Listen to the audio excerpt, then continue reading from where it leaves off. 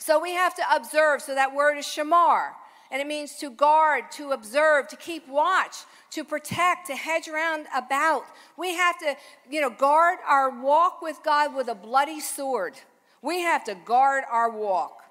We can't let anyone influence us or intimidate us because that's how the enemy gets us. That spirit of fear tried to uh, take out Elijah after he just did this amazing, had this amazing victory. Look at how fast that thing came after him. But see, greater is he that's in us than he that's in the world. So don't be afraid. We get the point. Don't be terrified or oppressed or harassed. Don't be dismayed to be shattered, to be confused or beaten down. If you're beaten down and confused, that's not of God. That's the enemy coming and afflicting you, right? So then to meditate means to meditate, to speak, but it means to imagine. See, there are vain imaginations, but we have godly imaginations, and the Holy Spirit is the one who speaks in through to us. Who, who, you know, He wants you to see yourself as that champion. He wants you to see yourself as that, that overcomer, that successful person, that, that one that has all their bills paid, that wealthy person, the one that sees family restoration. You have to see it. Isn't it easy? If I say apple, can you see the apple? Right? If I say, oh my God, there was a car accident, can you see the car accident? Right? And you can also picture maybe someone getting killed or some type of devastation. Well, our minds are incredibly powerful. He's saying, listen, I want you not only to meditate on the word, I want you to imagine it. I want you to see me interacting. I want you to see yourself laying hands on people, casting out devils. I want you to see yourself speaking life, prophesying. I want you to see yourself decreeing healing. I want you to see yourself decreeing shift over your region. See, we have to do this. We ha- what are you thinking? What are you meditating on? 2 Corinthians 10, in the Passion, it says, For although we live in a natural realm, we don't wage a military campaign employing human weapons, using manipula- manipulation to achieve our aims. Indeed, our spiritual weapons are energized with divine power to effectively dismantle the defenses behind which people hide. We demolish every deceptive fantasy that opposes God. And we break through every arrogant attitude that is raised up in defense or defiance of the true knowledge of God. We capture, like prisoners of war, every thought and insist that one, that it bow in obedience to the anointed one. Isn't that good? So this is what we have to do. And so, you know, part of what, you know, when I was uh, really struggling with the panic attacks, I had to really I mean, I took, I would take authority over it. I would lay hand. At the time, I didn't have anybody speaking deliverance over me, and and so God meets us where we're at, and I'm grateful as I move forward. I was able to get prayer, but I'm, see, a lot of times, and, and, and hear what I'm saying. A lot of times, we put an emphasis that someone else has to do it for us. We have to do it. Now, we need each other, don't get me wrong, but I'm the prophet of my own life. And so I have to prophesy victory. I have to prophesy deliverance. I have to prophesy breakthrough. I don't, I mean, I, I love it when others do it, but I'm prophesying for who I am in Christ. The enemy's not going to speak over who I am in Christ, right? We have to get that, that, that lion like attitude where we're not going to back down with this. And so God does not want us to allow the enemy dictate our destiny because when we're in fear or really battling any other kind of issues, demonic issues, the enemy says, Listen, I have an assignment and I have an appointment for you. And I'm going to dictate and I'm going to whisper lies that are familiar to you, how and why, and how and when, and how you're going to move forward, if you move forward. But you know what? There's a psalm, I mean, I'm sorry, in Isaiah 52, it's talking about the, the, the, the um, uh, he's, he's talking about the captive woman of Zion getting free. And it, and it said Zion is a free church. So why would he say a captive woman of Zion? And I always pictured it to have like a chain around your neck. And you know what? He'll give you a little rope. He'll give you like three things that he'll let you do. And then the moment you're starting to walk that forward, he pulls you back right? You're getting a little head, you know, head start, and he pulls you back. And the Lord's saying, enough of that. We're ending that today. No more of the enemy yanking us by the chain and pulling us back. I saw a picture of um, this, it, it was Islam. It was in Islam, a Muslim guy, and he, he had a chain, and he had three women behind him, pulling them. I thought, this guy is out of his mind. But you know what?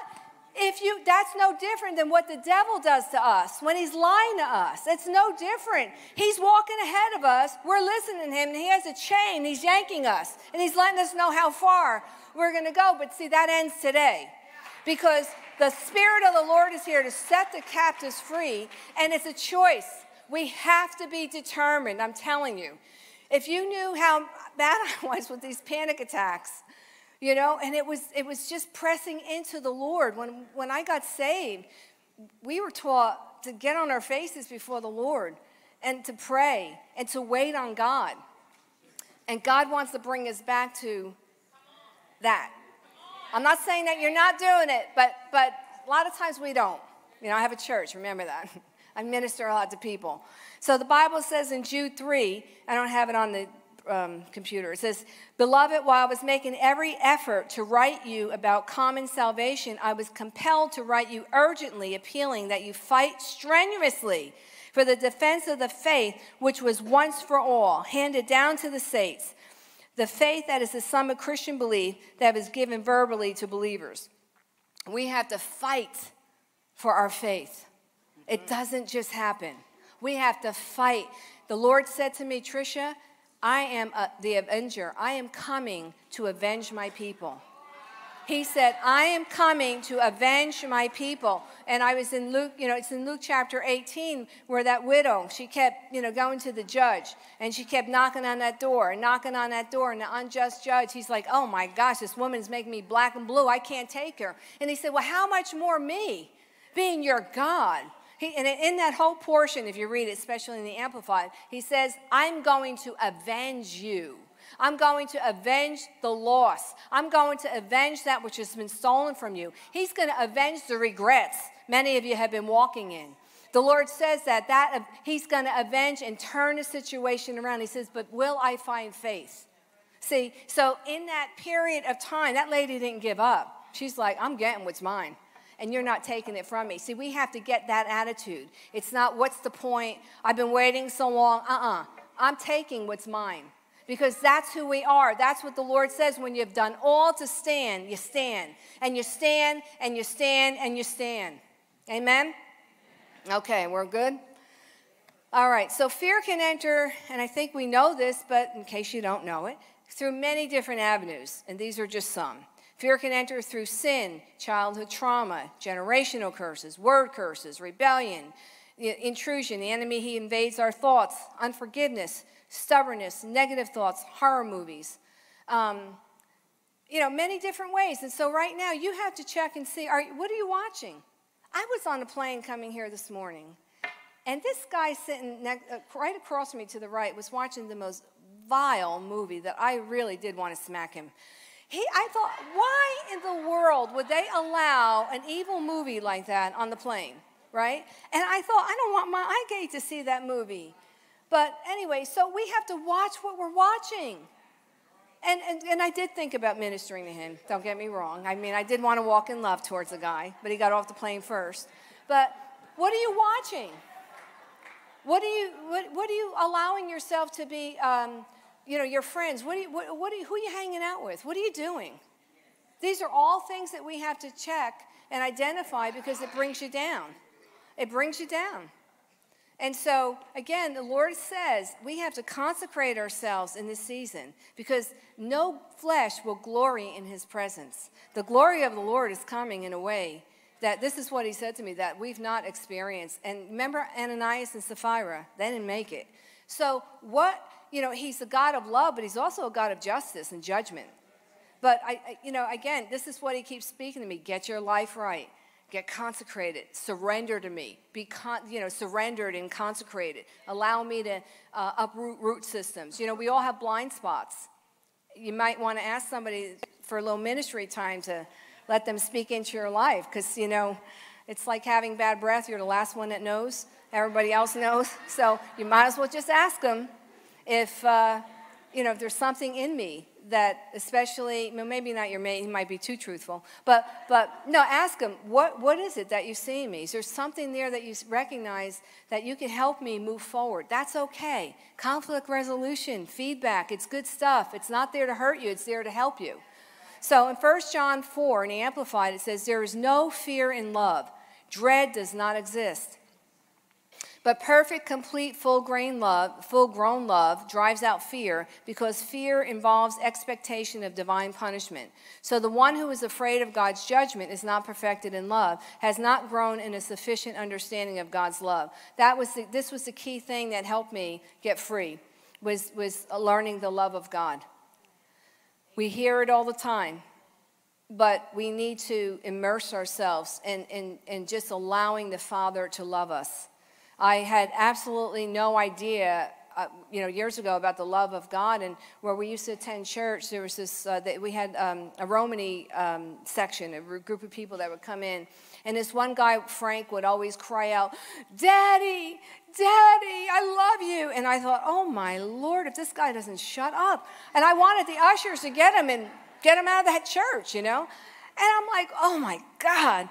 And the Lord said, You have the problem. It's not him. He has the relationship with me. And I thought, Oh, and I thought, Really? I, I had never heard of that. I never heard of the Father's love. I was okay with Jesus. I had a little issue with the Father. And I know a lot of us do. And so, but that was the thing that, you know, my dad was a great dad. He died very young, but he worked a lot of jobs, so I never saw him. So I interpreted it as someone who was disinterested. And so that's how, when I would go before the Lord, I just felt like I was insignificant and He wasn't interested. So you see why that had to shift. And so it says, perfect love. Well, I know it this way perfect love casts out all fear. But there's no fear in love. Dread does not exist. God's got our back.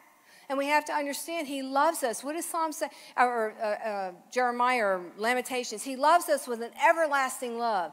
You know, we're created in His image, you know, and, and so He has, he, there's just so much that He does for us.